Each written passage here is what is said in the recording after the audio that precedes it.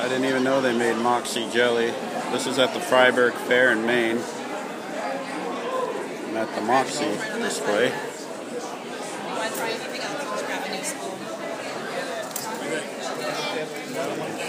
not bad. Oh, sorry. How are you guys today? Jelly.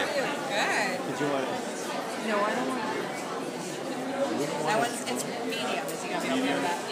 hot. Yeah, usually you want to try The habaneros are really hot.